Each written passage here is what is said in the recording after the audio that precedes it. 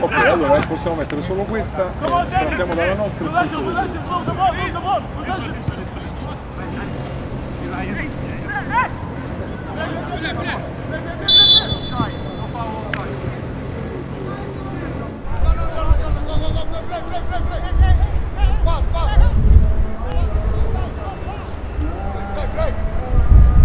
privilege and honor being part of the history and then be part of people playing that history it's uh, it's another level it's something really really so exciting it's a huge honor to represent women, but but honestly, we feel like we are just part of one team here, and and this should, you know, hopefully be history here, but no longer something special. We are one team.